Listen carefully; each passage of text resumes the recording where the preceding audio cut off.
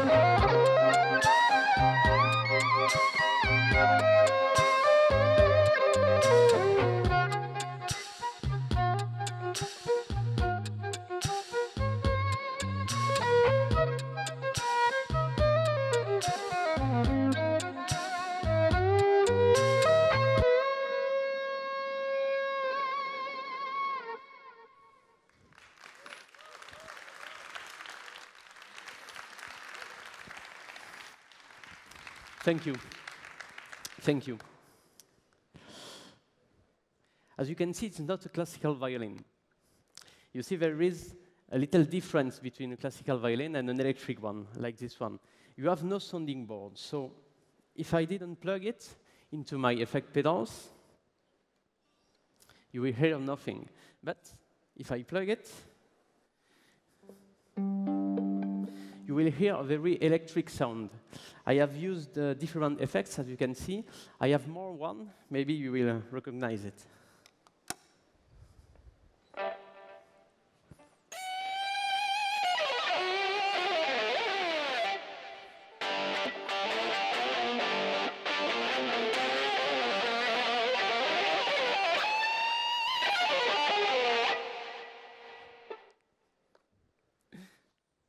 So you can see we can use different effects, like guitar, like electric guitar. And I use, for me, two violins, a classical one when I play classic, baroque music, and I use an electric one when I play jazz or rock, like here. This violin, called the 3Dvarius, has some specific and strange features. It has no head, as you can see. The head we have took from the top to the bottom. It is built in one single piece in order to have a perfect conduction of the sound waves. The sound waves come from the strings and come into the body of the instrument and then go to these four mics, which are piezoelectric mics, and which creates these strange and specific sounds. Music is emotion. When you are a musician, music and emotion and feelings are in your head. But in order you to hear my music, this emotion has to be translated into some specific filter, some translator. The first translator is the body. Body translates emotion into movements. So the more control, the more fit you are in your body, uh, the more um, precise will be the translation. Then the second translator is the instrument, this one. The more precise, the more control on the instrument you have, the more precise will be the emotion that public will perceive. So when I tried to create my own violin three years ago, um, I had three main objectives in order to have the perfect violin for me and for others, maybe. It has to be light, it has to be comfortable, and it has to have a very, very good sound. It took me three years, three steps, to create this violin. Uh, I first tried to, to create um, an aluminium one, but it was very, very expensive uh, to have the design I wanted. Then I passed through different sort of um, material, plexiglass. We took a cube of plexiglass and then we sculpted. It. The violin was clear, a good design like this, but it was very too heavy. When you play, uh, here uh, I've just played two minutes, but sometimes I play five or six hours a day. And when you play with a very heavy instrument, you will have a lot of injuries, so it can be good. And finally, uh, I discovered 3D printing uh, resins, stereolithography, which allow me to reconcile my three main objectives.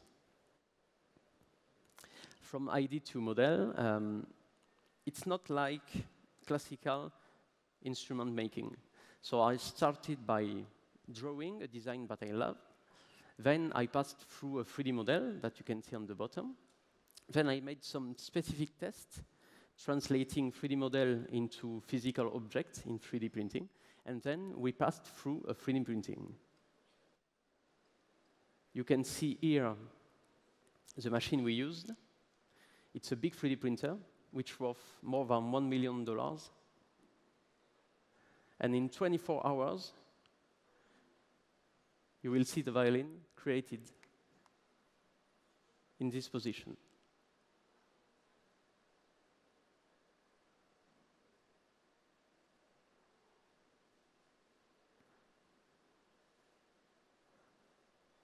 Twenty-four hours, thirty thousand layers, and then you have all the transparent parts that you can see here in one single piece. But it's not finished. One day of printing, 20 days of manufacturing in order to have this violin. Great. Uh, we sand different parts in contact with the skin, in contact with the strings.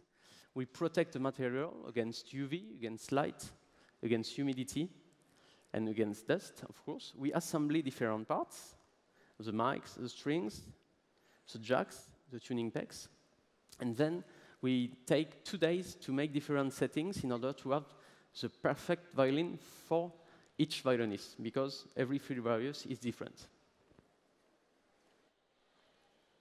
We constantly improve our model. We try to meet some different people, violinists or not violinists. Maybe we will recognize some politic people, actors.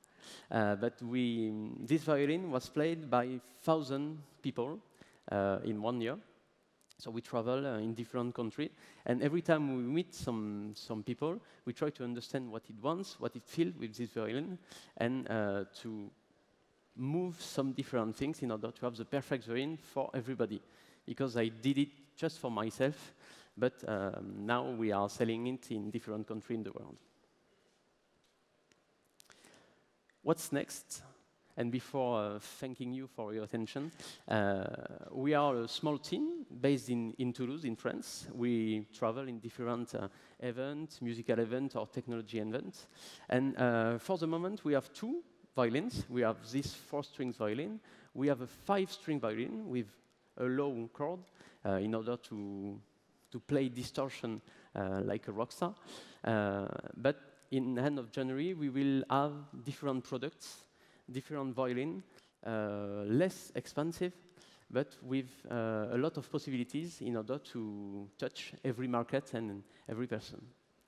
Many thanks for your attention. Do you want me to play something? Okay, okay.